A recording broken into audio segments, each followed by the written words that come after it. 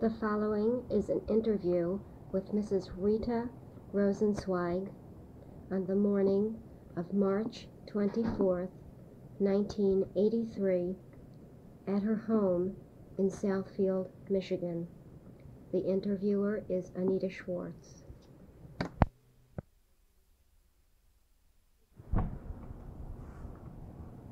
Could you tell me your name, please, and where you were born? Okay, Rita Rosenzweig. I was born in Belgium, Sorel-sur-Meuse, province of Liège. Were you still living in that area when the war broke out? No, uh, I was living in Liège with my mother. Rosenzweig, this is your married name. Can you tell In me? In a way, yeah. My uh, maiden name is Rosenzweig also. Could you tell me something about what you remember of life in Liège before the war? Well, before we moved to Liège, we lived a little further than Sorel, which is also a little city, Flémalle. My parents had a store there uh, for a few years, and then I think uh, when I was about nine years old, ten years old, we moved to Liège. Are your earliest memories then of life in Liège, or would you like to? Um, well, in a little bit in Flémalle, but I was kind of young. I, all I could really remember is going to school and you know come back to the store. And my parents were busy, so I used to eat in restaurants and then come home. But Liège is mostly, I think, where I remember the most.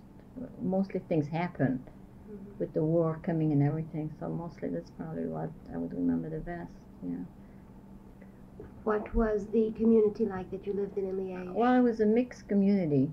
You know, where we lived was, um, I would say, two, three houses away with Jews and then uh, Gentiles. It was mostly very mixed, but most of my friends were Jewish. And I just had a couple friends that were not Jewish, but they really, you know, were so assimilated that it really didn't make too much difference. But you still had something pulling for, for your own, you know, even though it was mixed. What type of business did your dad have in Liège? Um, my parents were going on the open market, so we had an apartment. And, um, my mother, they would leave early in the morning, so I was most of the day by myself.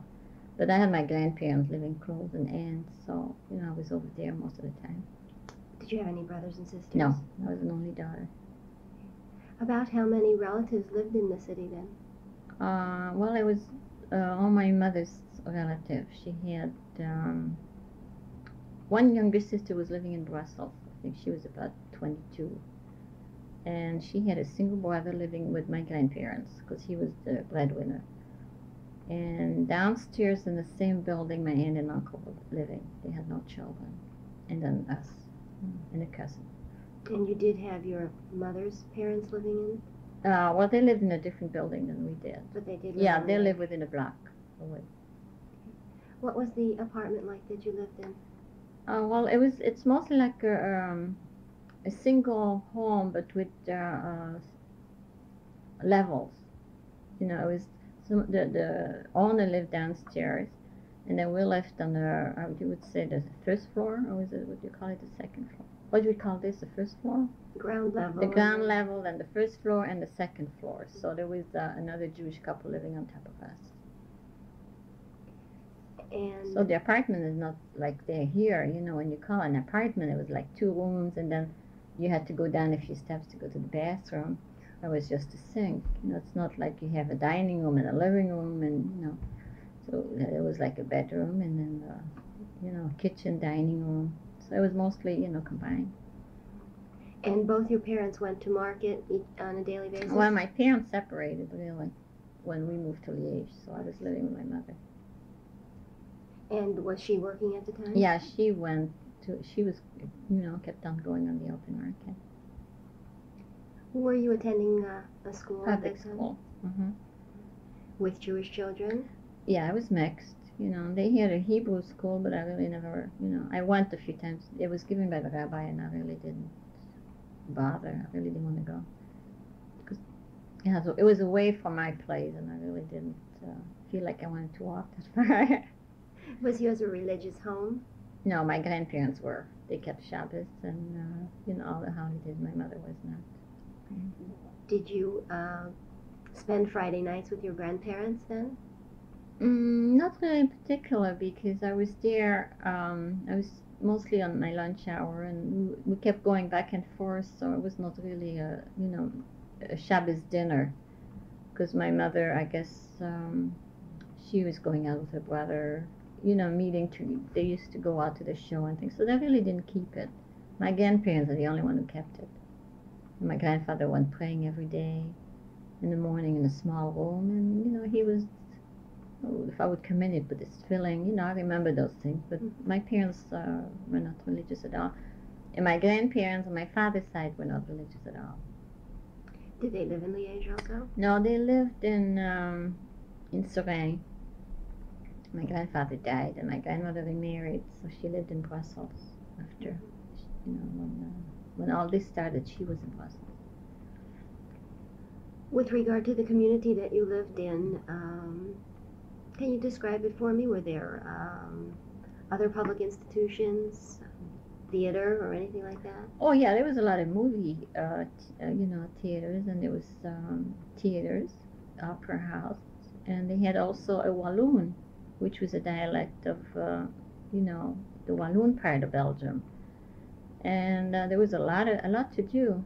I mean, and people live, you know, walk a lot in the street. They have those cafes you can sit and then I think the Jewish people met in a, in a cafe together. You know, every, mostly the men, because the the women were mostly in the stores, and the men were just going to the cafes and talk and come back for dinner.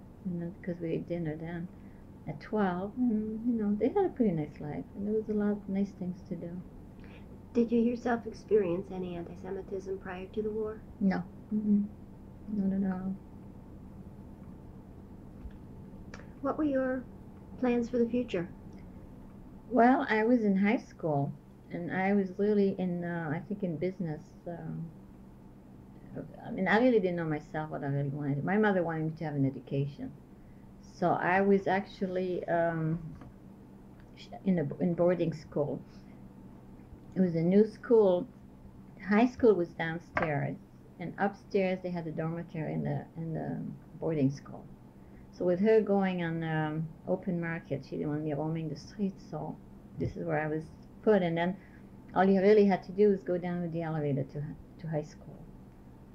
So, and but actually, high school in Belgium starts after the sixth grade. It's not like here, like you would say junior high.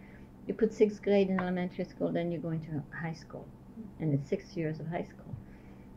And so I, all I really was doing is take the elevator down. I slept and ate over there all week, and then I went home for the weekend. So, and I was in um, the three first year that you take, you say junior high, then you get most of everything, like languages and math, algebra, whatever you know you need. And then the three third year, last year is when you really pick what you want. Unless you want to go for doctor or anything like that, you have to take Latin and Greek. But otherwise, I was just uh, mostly general typing and things like that. Do you remember your thoughts when um, the war began? Well, you know, really when it began was like in 1940. I remember. I, I'm not sure, but I think it was on a Friday, and I heard like cannon, you know, noise, and I woke me up and I asked my mother what it was, and she says, "I think it's the war." But I really didn't think too much about it, except uh, there was no school. That's all I could think and uh, I remember she went over to her mother, you know, to my and my uncle was single, so they decided that they wanted to leave the city and go towards Spain, I guess, or Switzerland. And my grandfather wouldn't leave because it was going to be Shabbos, and he said, "I'm not going." So I had a cousin living with my grandmother because um, it was from one of my mother's uncle, a brother, I'm sorry, and uh, they couldn't afford to keep him. My uncle was sick, so my grandmother was bringing him up. So we went, um, my mother's sister with her husband, my grandmother, and my uncle, my cousin, and my mother and myself. We took the train towards, you know, going to France. But when we got between close to Brussels, we were bombed, you know, and the planes kind of machine gunned everything. So the train stopped and we ran out of the train. so my uncle got wounded. So my mother stayed with him, and with the understanding that we would meet in Brussels again. But we, you know, there was no transportation, so we never got there. She, um, I mean, one one way we went together, and on top of that, when there was a lot of people going towards, it was it was traffic jam, so there was a lot of English soldiers, and they put my cousin on a truck, and they were going to put me on the truck, but the truck took off with the kid by himself. He was like six years old, but I made a tag for him before we left, so. Uh, making sure a couple years later or a year later we got a letter from people in France that was keeping him. But meanwhile, then we uh, we walked. There was no other way. We walked till um, part of France, and uh, my grandmother, my aunt and uncle. And of course, my grandmother was crying. She was, uh, you know, crying for the little one. And then the Germans came in. So then we were stopped. We came back, and I was kind because I wanted my mother and my aunt, you know, they never had any kids, so they they were just busy with the two of them. So it was just me and my grandmother, you know, were schlepping with a wheelbarrow yet. So and then we were ended up by the Maginot Line between the Maginot Line. So really, all you saw was when you were walking, and it smelled terrible. Was you know dead cows because mostly farm. When we went through the the country, it was farm. It was all those animals dead, and nobody to bury them, and it stunk. It was just an, most of the time we were in the woods, and then we finally got into a school with, um, you know, they had uh, how do you call a shelter for bombs, so we stayed three days in there. Then we came home. Back to Liège. Back to Liège because the Germans came, and uh, you know we thought, well, we can't go anyplace. And then my mother came home a week later with my dad. She happened to meet him in Brussels. So they got back together at that, at that point, you know. So really down. But for me, What did you do now that you were back in Liège? okay, when we came back, let me think. Um, I went back to school. I, I and uh, things kind of rolling fast. Then my aunt, my younger aunt, that lived in Brussels, was arrested because she was not wearing. We had to wear the the star. They gave you the star, so she was not wearing it and was arrested. So my uncle, my mother went to Brussels and got all her furniture and everything out because she she told them I'll probably never get out, being she was the first one that was arrested. And um, then my we had they had we had to register all all the Jews had to register on the committee. And then my mother decided that um, we were not allowed to go to school then. They, they stopped us. Then we had to go in by 8 o'clock. And then they started, they sent out papers to all the youth. I think they started at 15 to go to Germany. 15 and up. All the, you know, uh, singles, I think. And my uncle was single, so he had a paper to go. And so we went to um, to the to the station to say goodbye to him, but he wasn't there. Uh, at the time, he was going with the shiksa, so she they decided to hide him. He decided not to go, but most of the young people were there. I mean, that was terrible. I mean, everybody was crying, and but the kids, you know, they were singing, you know, Jewish, uh, the and there was a lot of things, but it was a terrible scene. It was just, I mean, when you put your kids on a train to leave and they thought they were going to work, and uh, my mother then decided to go to the committee and said that I ran away. She said, I don't know where my daughter is. She ran away, so they took my name off. Because the German came and they said, so, you know, every month, so every week we need so many Jews. So what they did is they gave a list of what the one they have, you know, the families and whatever. Well, they started with the young people and they started with the men. But then this way, my mother was going on the open market with this um, couple. They had, they had a, a place next to each other, and my mother said I would need a place for my daughter. She said I would like someone to adopt my daughter in case something happened. And so she went to a lawyer, and the lawyer said there has to be someone who doesn't have any children. And this is how I ended up with um, the Maréchales was the name. They were uh, Protestant, you know, Huguenot. And this woman said, Well, I know someone in church. They have no children. She plays the organ. She's English and he's Belgium. I'll talk to them. And they said, Yeah, they will adapt me. So my, they went through all the procedure of being adapted.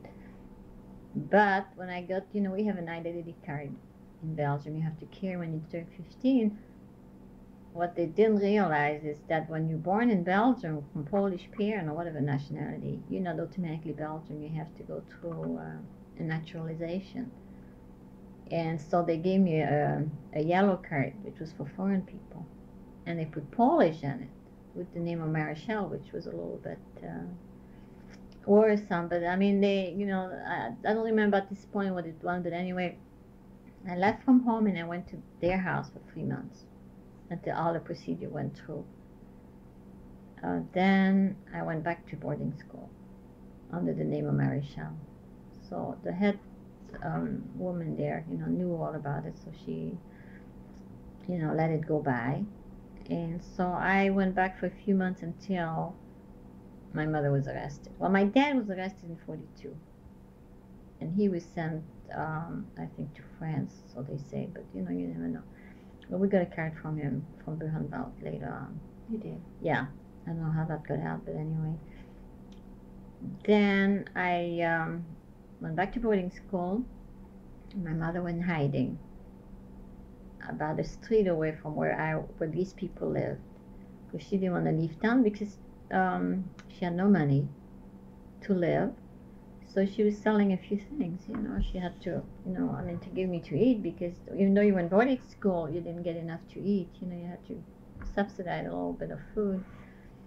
And in 43, in July 43, my mother was arrested with her sister. My, my aunt was taken from a factory. She was working for the German with her husband, and they were both taken. And she jumped off, I don't know how, she jumped off the train and came back. And was going to my mother, but one of the Belgians that were with the Germans recognized her because the main um, uh, German place, you know, with those, the one with the black uniforms, they were those, SS. the SS. Their their main place of uh, business was right by my boarding school, which was uh, on the boulevard. And Washington Bell at that time, everybody just walk. We had no cars or that much transit. They were afraid to get on on the on the bus because you know the germ would stop you. So they you walked, and while she was walking, someone recognized her from the old neighborhood, followed her, and then they both were arrested. So my mother was arrested in July 43. And She said uh, at that time, then this lady, Madame Maréchal, came and got me out of school. But then, because what happened is my mother, you don't think, I guess I had clo- once a week I would give my dirty clothes to my mother. She would wash them. So she had most of my clothes and she threw them out the window. And she says, take them to such and such an address. Well, the German, you know, went to such and such an address, and they were looking for me. So they put a gun to the to this man's head, and they don't they didn't find anything because I had no clothes or anything there. My clothes went directly to my mother. And uh, she got me out of boarding school, and then from boarding school, then I went to her sister, which was uh, a Flemish town by uh, Brussels. Meanwhile, my mother was a, a month in jail in Liège. Were you able to see her? No, we weren't there then, you know, because it was in 43. It was uh, uh, what she did. My uncle told me she, in a matchbox, she dropped, you know, through the window, whatever, and some guy brought it over to my uncle. And somebody that works in the jail. And so she was asking for a few things, and I don't know, you know, mostly pads, I think she, I remember. And um, I went to my uncle because my aunt had a store because she was not Jewish. So she kept the store open. My, my uncle was hiding, you know, so he was, um, I, um, we really didn't know what to do, to tell you the truth. It was, uh, my uncle already was taking care of my cousin that meanwhile came back to, he was hiding already. And here he had me on top of his head and we really were in I mean, such a um, it was devastating. I mean, I mean, you just didn't know where to turn. It was just uh, so I went to her sister, and we, I stayed there for a while. You know, as uh, we told people it was a relative, and it's very hard in Belgium because in a small town, if you you see a foreign face, right away they ask question, well, who, you know, what. But then their their son came back from the army too, and they joined the underground because they had papers to go to work to Germany even though they were not Jewish. So they would join the underground, and I followed. You know, How long did you stay with this? Um, is it um, Mrs. Maréchal's sister? Mrs. Maréchal's sister, I stayed till, um, well, I stayed there for a while, and then I went hiding further because of her son joining the underground, so I couldn't stay there either. So I went to a city of Wagram in some little farm, and that's when I joined the underground because then they give you food. You know, the underground will give the people so much food. And all I did was um, carry ammunition from one city to the other for the underground, for the men. How old were you at this time? Oh, I was about 14, I think. Yeah. And what had you heard about the underground? Absolutely nothing because everything was hush hushed. I mean, you know, they just. Uh, you, they just didn't take just anybody in you had to be. But in my case, they knew that I was hiding, so they knew I wasn't going to go to the Germans. You know, so I automatically joined um, because of the, the sons that were already in the underground. So what I did is they would go during the night and get um, ammunition was coming from England, dropping by parachute, and the men would go in the middle of the night and get the ammunition, and they would take it to the farmhouses and so the girls came in then at the point and fill up the bikes. And we took him from through the countryside from one city to the other. Well, you know, Belgium is not a big country. You go from one city to the other on your bike. And the men would go first, like, you know, about a hundred, uh, oh, I would say about 200 feet um, before the girls. And we followed. So if the German patrol came and stopped them, then we would just uh, throw our bikes in the field and you know either keep walking or whatever. You know. So they were the patrol, really the men. But we took uh, ammunition from one farm to the other, and from one city to the other. You know, all by bike. You know. Can you tell me something more about the underground group that you worked with? About how many people were involved? Well, you know, we all, they all had different um, things were very hush hush. I mean, you know, they really you didn't talk unless you had to.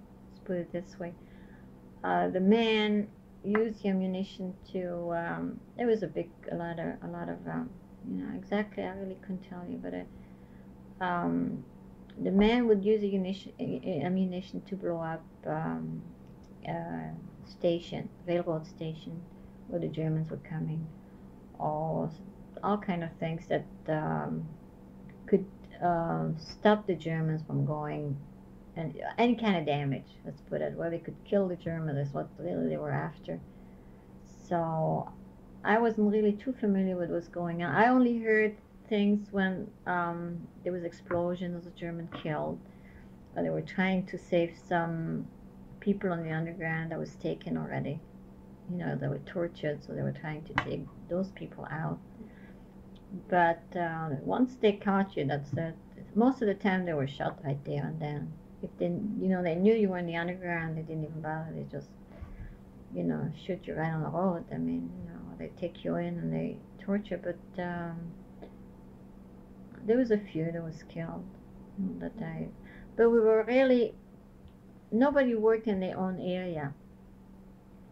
Most people were in different places where nobody knew them you know, and it, it was very, it was mostly done from farmhouses and, and countries in the fields, you know, in the woods. So people were mostly hiding in the woods. So like I know I used to go in the woods a lot because a lot of times the Germans would search house to house. So we used to run out the back way and, and hide in, uh, you know, in the woods and then come back the next day. Was there a central location that you had to return to? No, I was just in a in a private home and the underground was giving them eggs and butter. I mean, just you know, to feed me. And whether they knew that I was in the underground, I don't know, because nothing was done from their own house. We were taken to a certain farm, fill up the bikes. There was like about four or six girls, and we would just drive, you know, like we were in school, and drive together and take the ammunition to, um, you know, electric powers. You know, when they have the main powers, there was a man there, and um, we would just uh, give him the ammunition, and they would store it in there. You know, so it, whether he was working for the company, I don't know. So I have no idea. You know, but the man was did the the hardest work. You know, the girls was just taking messages, uh, you know, from one place where they had hiding. You know, the farmers hid a lot of underground people. It was mostly not, you know, not. I guess there must have been some in town, but I wasn't in town, so I was in the country. So you received a lot of cooperation from the. Yeah, you get a message. Yeah, you never met the, the, the big man. You know, it was always a message that would come and give you, tell you, well, you go there and there, and then you go to a certain place, then they'll tell you what to do. But there was never nothing written or anything. Everything was oral.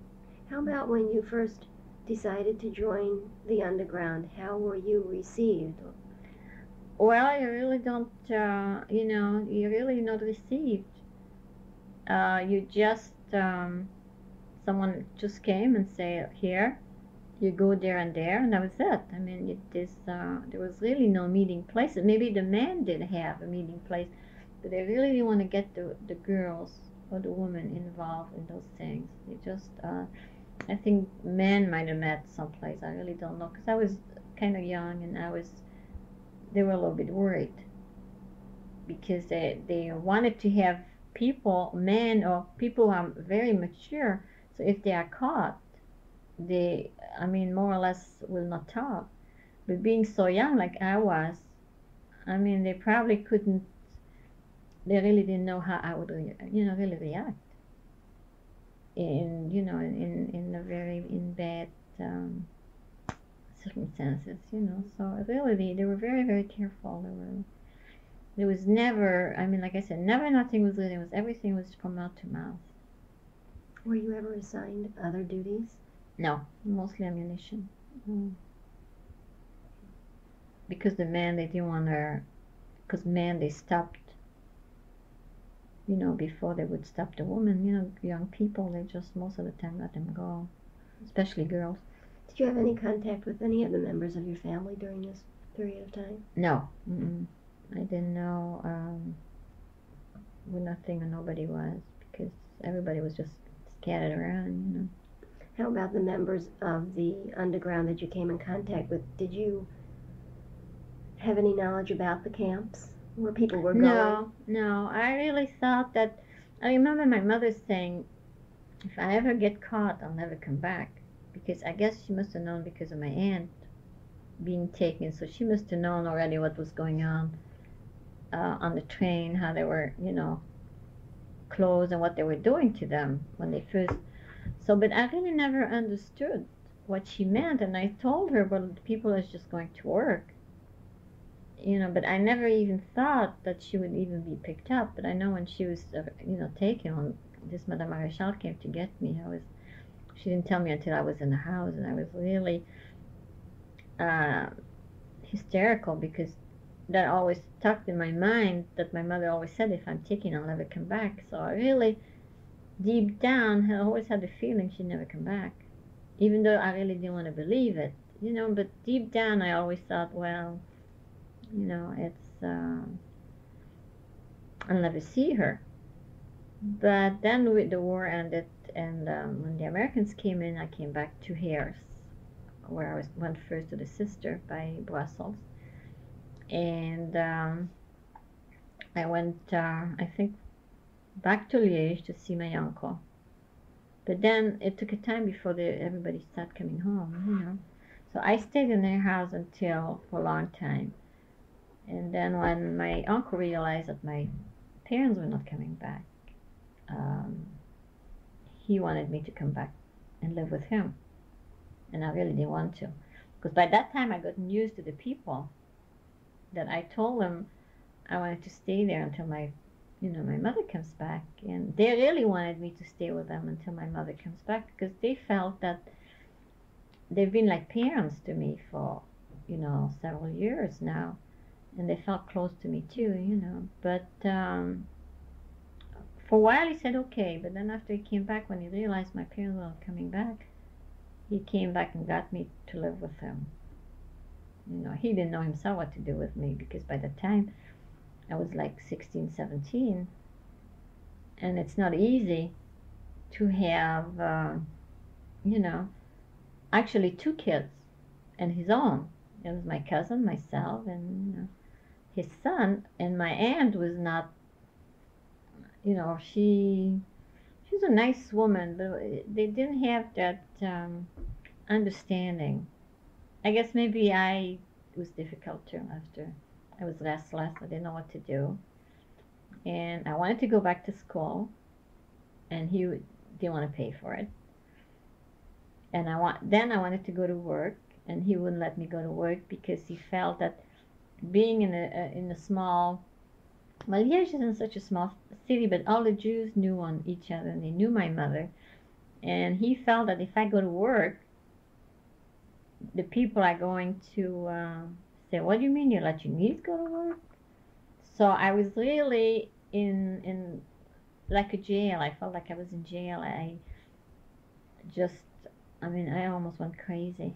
I just, um, he said I was miserable, but I, I had to go, you know, help in the store. He had a store.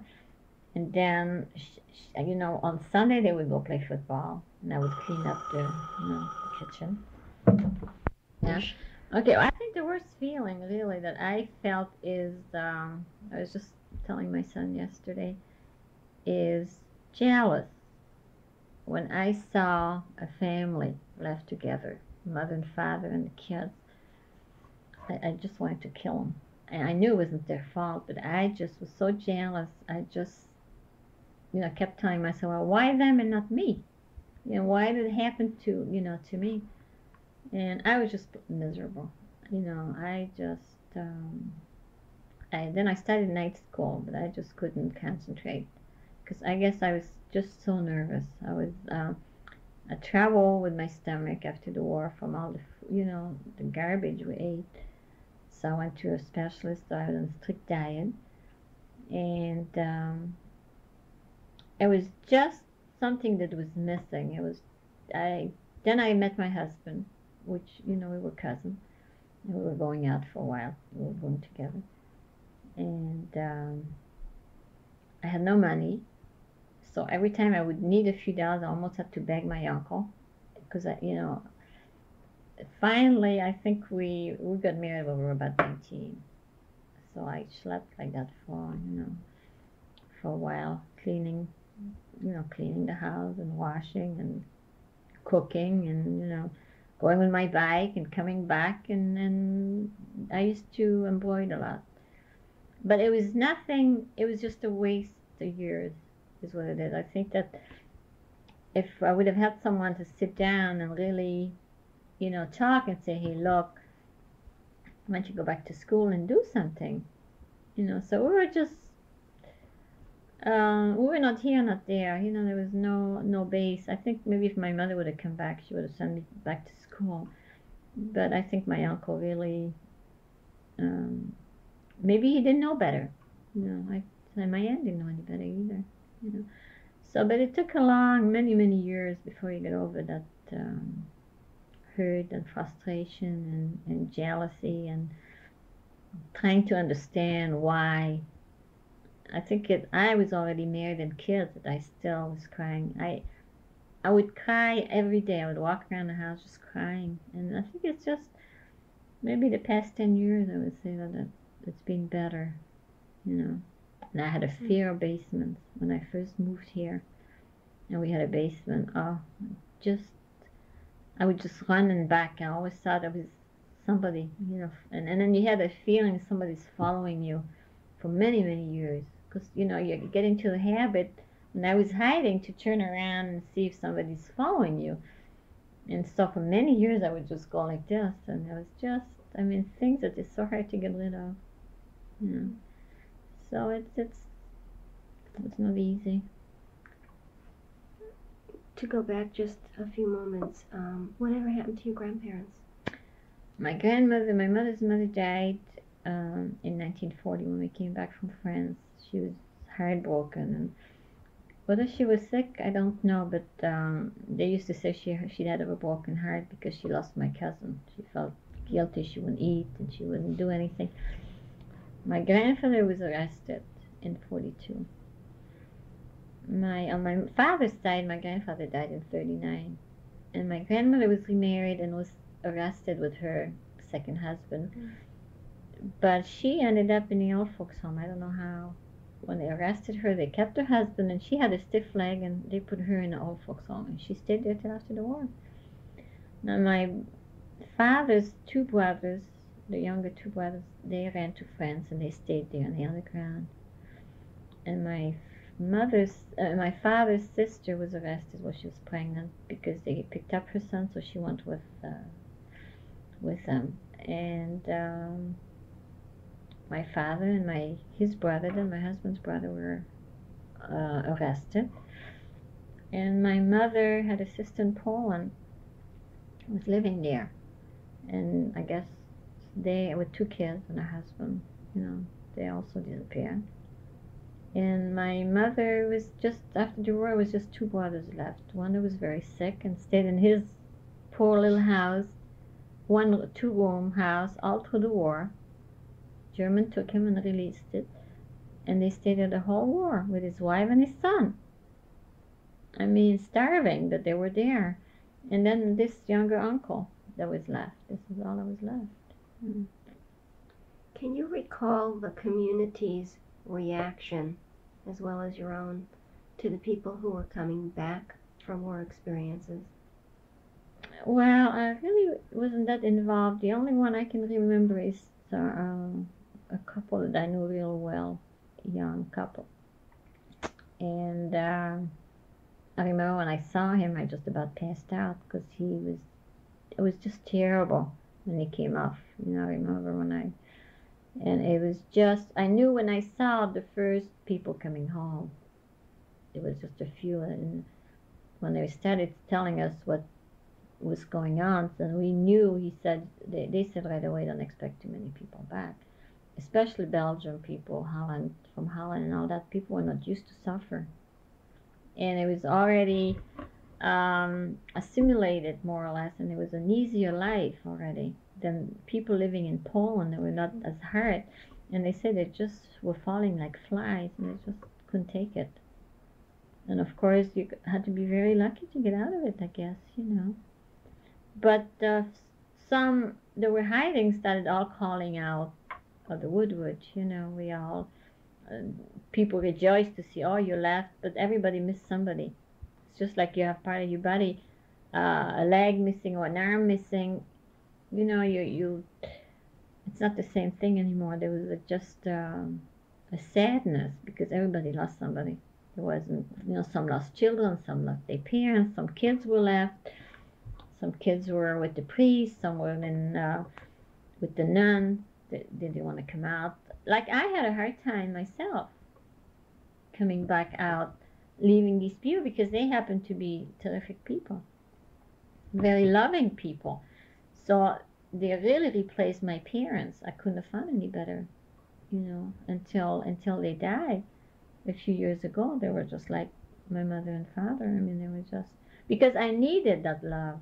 You know, I needed to have something to. Uh, you know, you need something to hold on because after the war, I really had nobody because my uncle, as much as he said he, he, he loved me, he it was never really gave me what I really needed. You know, neither did my aunt and this Madame Maréchal was very nice, but she never had any children, and she was very fanatic in her own religion, and all she really could think was trying to convert me. So all she was really doing was, uh, you know, praying, and I almost went crazy in three months because all it was is praying in the morning and praying before breakfast and after breakfast and before lunch and before, after, and it was I was so nervous that every time I took a dish, I just dropped it And so after finally three months, when I was able to get out, I was just like a wild animal. It was just, you know. But when I was living after at Harris, after the war, even I came back, they they were really, I mean, tremendous. It was didn't make any difference between me and the kids. Whatever the kids got, I got the same thing. And they made the kids a dress. You know, they would we made dresses from parachute because we had no clothes. You know, white. Um, so you know, they were really you know very nice. And I think that's why I need. That's why I really came to the state is that I really needed to feel close to them. I think because I really followed them. You know. So I think really that's what it was mostly that you need um, this mother. You know, you, you need that, that that love. I mean, you miss that. You know, I how old.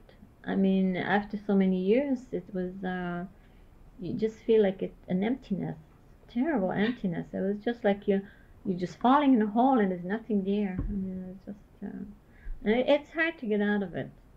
I mean, you really, I really thought many times I was gonna go really, uh, you know, break, uh, get a breakdown. I mean, but you keep telling yourself, well, you can't do that, you know. And, and by the time I had kids, so I felt, well, you know, I really can't let myself. But it's it's very very hard. It's I think it's one of the hardest things I ever did in my life. I think is trying to get out of it you know that feeling that lost you know it's just i still do as a matter of fact i uh, i still miss my mother because we were very close and you know it was just uh, it's a it's a um, I think maybe if you see your, your parents die a natural cause you, you can face it better you figure well you see them dying but this way you know they were young people you know, my mother was like 32, and my dad maybe 33, and, and you feel it's such a waste of life. I mean, what did they ever get? What did they ever enjoy? I mean, all they did is work and work and work, and you, you, when just when you want to start enjoying. And I think uh, what really hurted me the most is the idea of how maybe they died. That's one thing I just can't. Uh, you know, my mother, I'm sure, didn't live too long. You have no idea where she was taken? Uh, no, the UN kind of declared them dead um, in Auschwitz, my mother and my dad in Buchenwald. Whether they had records, I don't know. Really, you know, we were just send a paper, or we I had to write or whatever, ask them, and they just uh, presumably dead.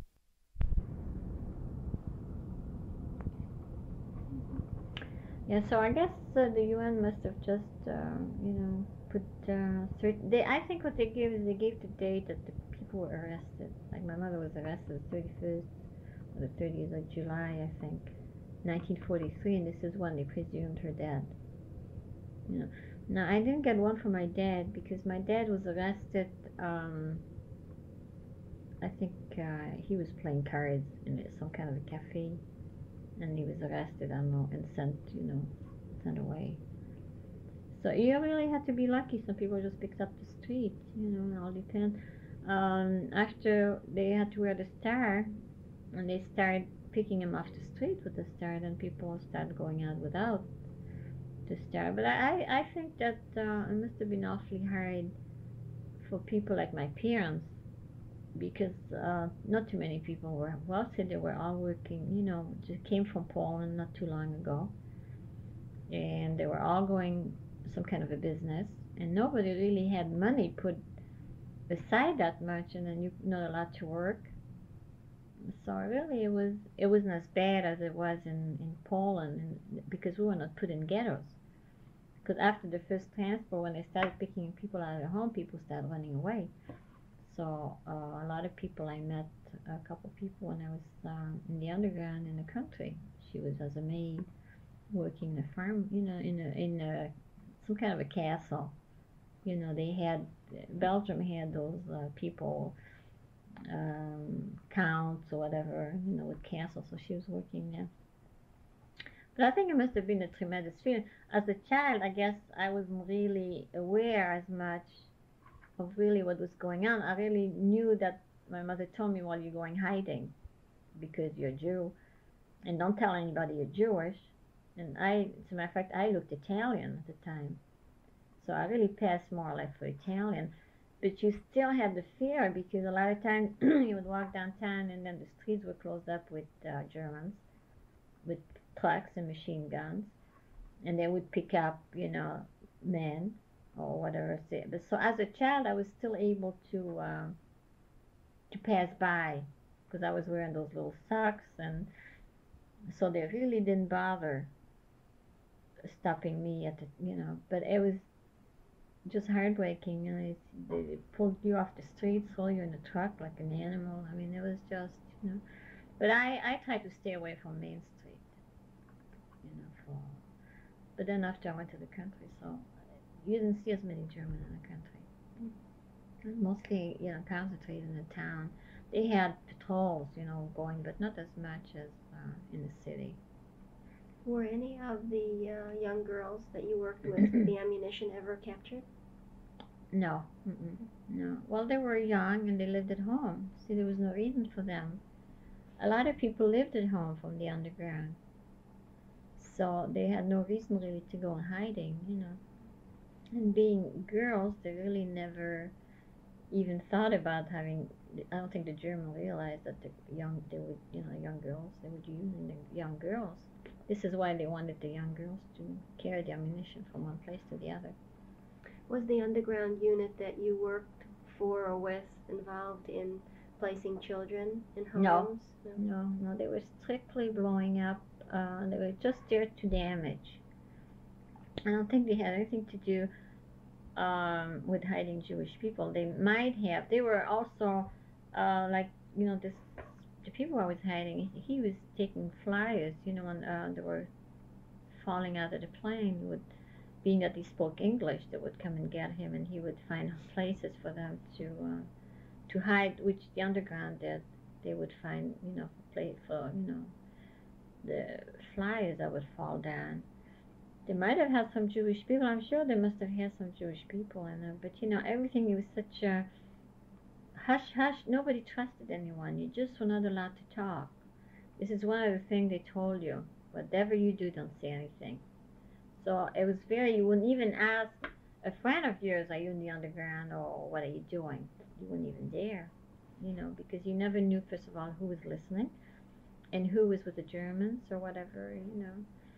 So everything was very mouth shut. I mean, it was tight. I mean, there was a tight lid. It was, uh, you know, they told me right away, whatever you do, keep your mouth shut. So, so this is how it went. How long did you remain in Belgium? Uh, we stayed. Um, we came over in uh, 1952. Yeah, uh, five years after I was married so there must have been about seven years after the war ended. and the reason you came to the United States? Uh, well, I came first of all because the people were here, and uh, I just felt like myself. Um, I didn't get along with my uncle for one thing. Not that I didn't get along, but I was just kind of mad with certain things. I'm not going to get into it. And um, on my father's side, my two uncles came back and they really, you know, didn't pay too much attention to us. And so I just felt that um, there was nothing in Belgium for us. It, first of all, it was very hard for us to, to make a living because we had absolutely nothing. And nobody really cared. As orphan, you know, that sometimes that you need the parent to help you to do uh, something or you know so we were very um, we wanted a complete change. I wanted a complete change. I wanted to come to these people because i felt that it was the only one who really gave me love that i needed. You know beside my husband you know your husband is fine but you still have to have the need of having somebody which I think it probably was in me. I don't really think that, um, you know, I could have just stayed in Belgium, had probably the same thing. I think if I would have really understood myself, you know, what it is, I think it was just a fight in me. I think, and I just didn't know what I wanted. So I wanted to come over. My husband really didn't want it because he had a brother. His little brother was in Belgium. But the family was just driving me crazy. And I just, you know, like I said, I just wanted to get away. And I was writing to the daughter who kept in, you know, we were keeping in touch. And she said, really, she said, if you come here, you might start a new beginning. And she says, I think it's a nicer life. So uh, when I first came, I wasn't that happy. Then I was missing Belgium, and I felt, well, I was a nicer life in Belgium. But I, I think once you get used to it, now I'm happy we came because of the kids, because in Belgium there's no Jewish life at all. All the young people end up in Israel. And the few who are staying completely assimilated and all intermarried.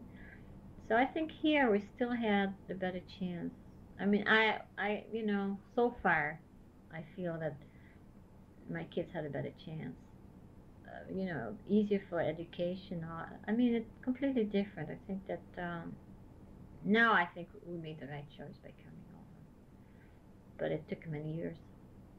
What other problems did you encounter when you first came to the United States?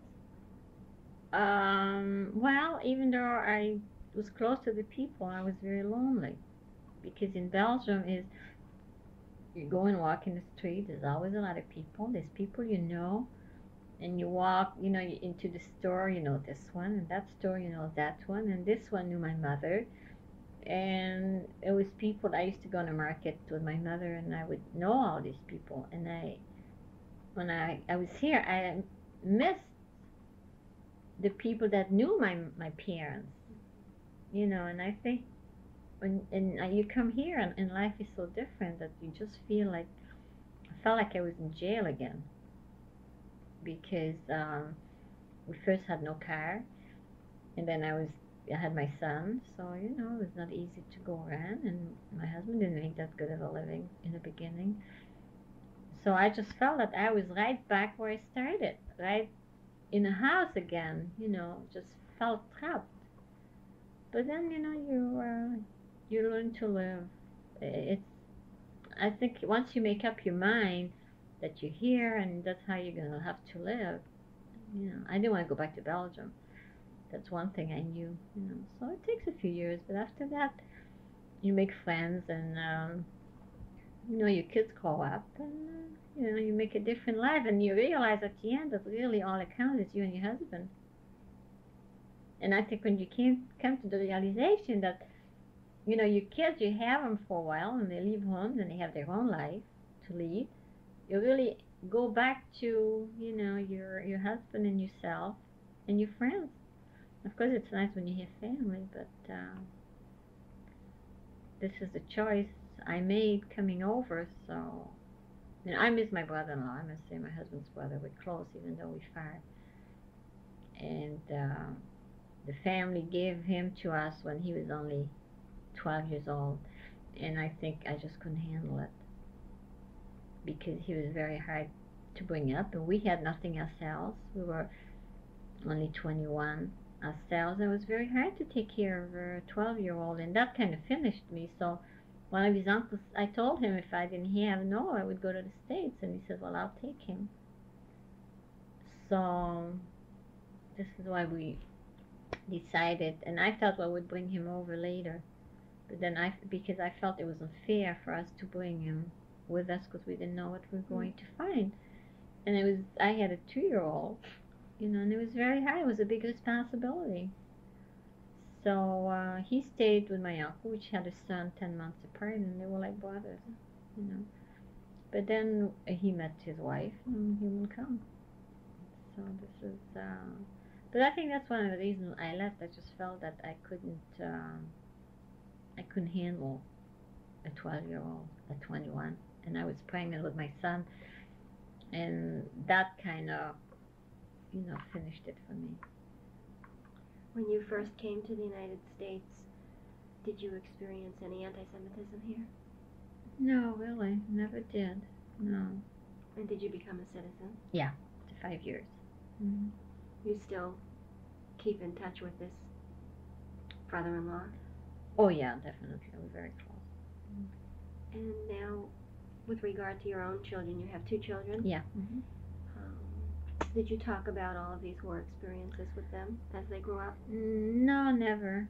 Uh, Well, my daughter used to ask more questions than my son, and she would say, "Well, I wish I had a booby and a Zeta, and I miss grandparents." Even though these people where I was hiding, you know, were like grandparents. They would for their birthday send a little money and things.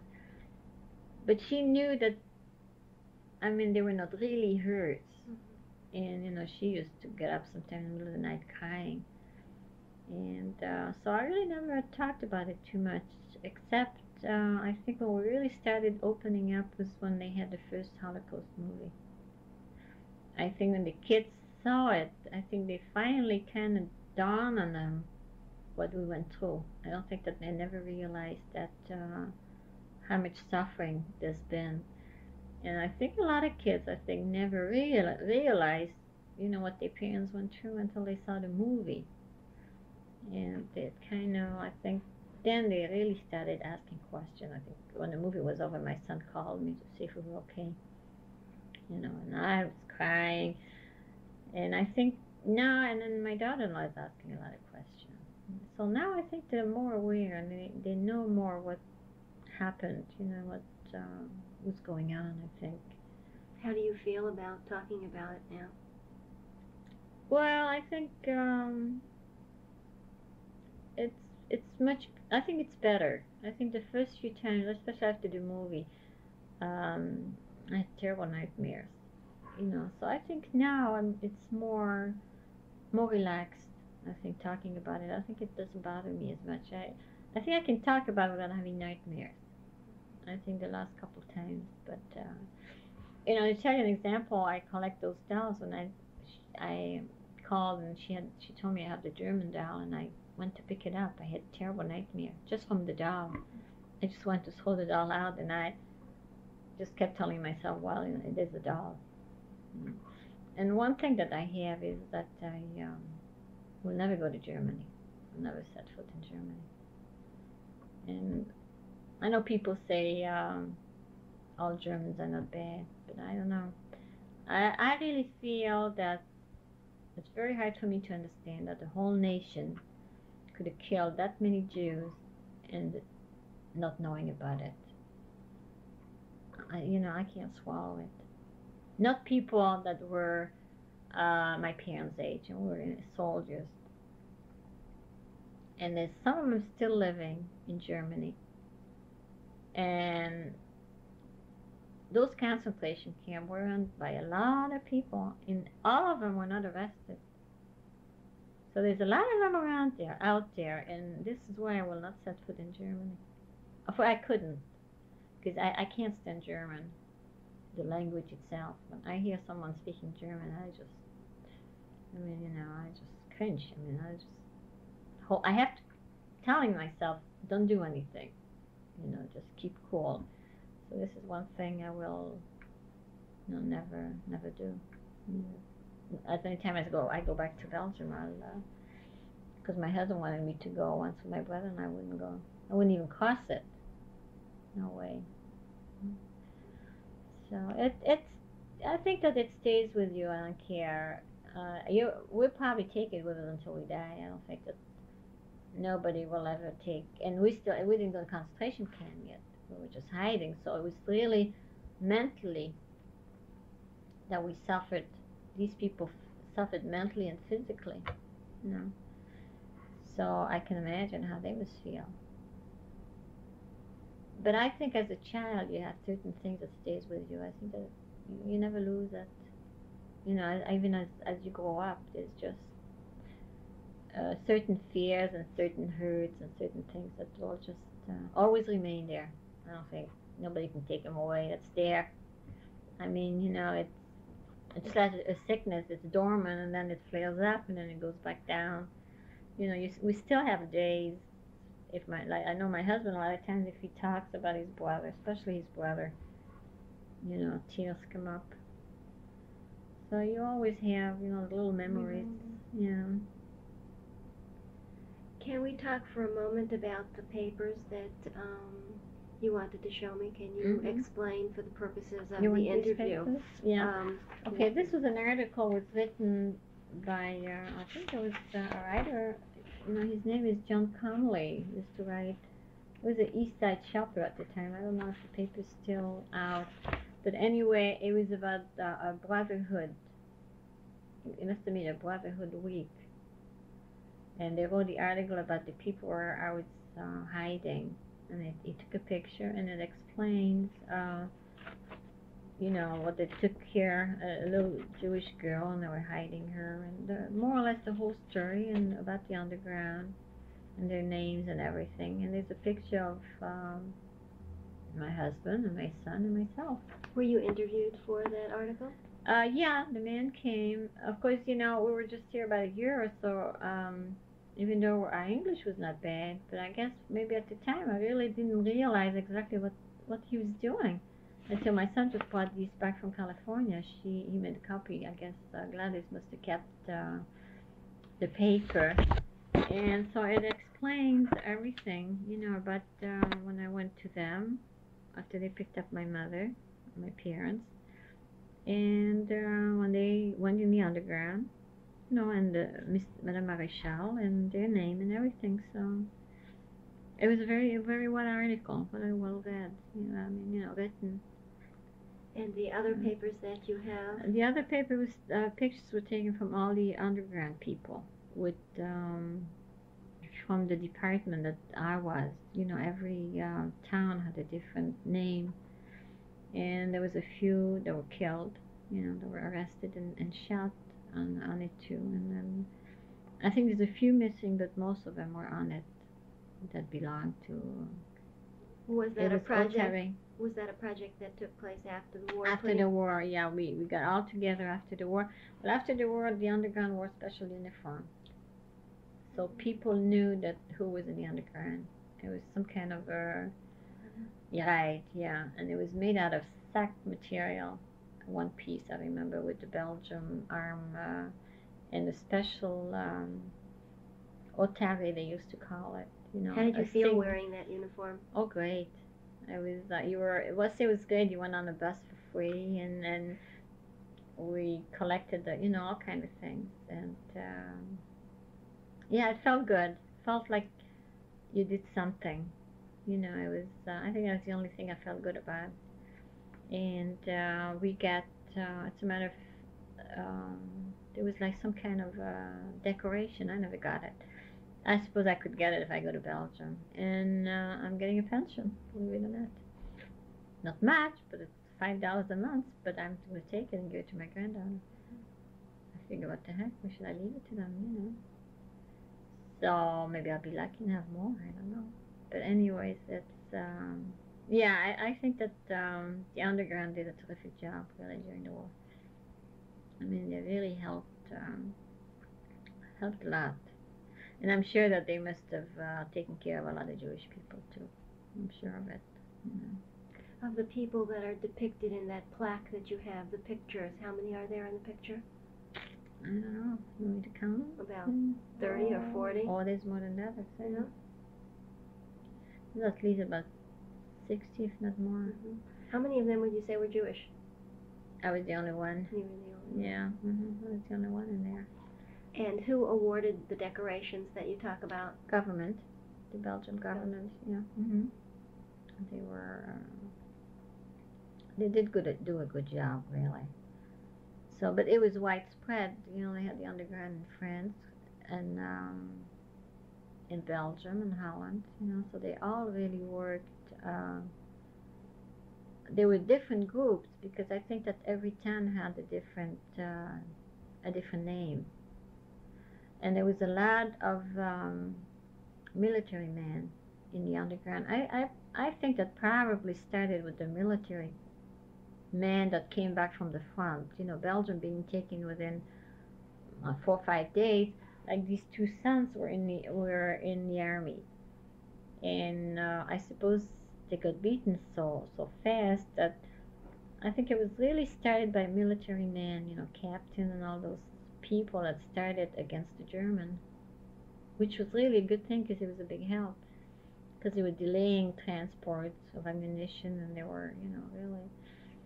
And so I think it was really, and as a matter of fact, now that I think about it, it is um, military men that started out, captains and all that that I read about, because they wrote a book about it. Were you ever aware of the names of any of these leaders? No, because everybody went under different names. See, nobody had the right name, so it was, uh, and and nobody really used any names. It was really mostly, you know, uh, codes and things like that. And you were never told any names because if you were arrested, though, you didn't know nothing. So you know, there was no, uh, you couldn't talk. So except the, the real tough men, I guess, you know, there was a couple of them arrested, uh, died, but somebody had to to know something, I suppose. You know. There was not a single name that your unit went under. Well, it was under Otari. There was um, that was the one we were in. So, and I, this was under the French-speaking one. And then they had Flemish ones, you know. So because I was by Warem, which also also speak French. Now these people where I went uh, from the Maréchal to the Boutonnières, that's their name. They were Flemish speaking. You know, and um, this lady spoke English and Flemish.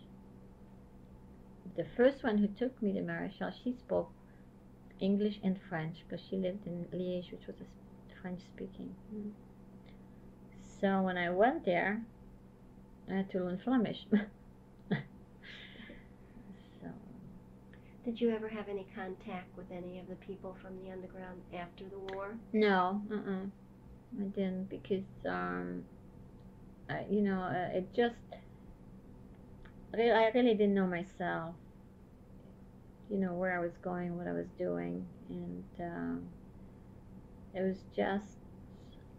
I mean, I was just at the lost. You know, you just take things as they come, and that was it. Because I really didn't know myself where I was going, or what I was going to do, or who was coming back, and it takes a long time to settle down again. You know, it just, um, but you do. Before we end, is there anything else you'd like to say, add to the interview that you haven't already? No, I about. don't think so. I think I said about everything. Okay, thank you very much. Mhm.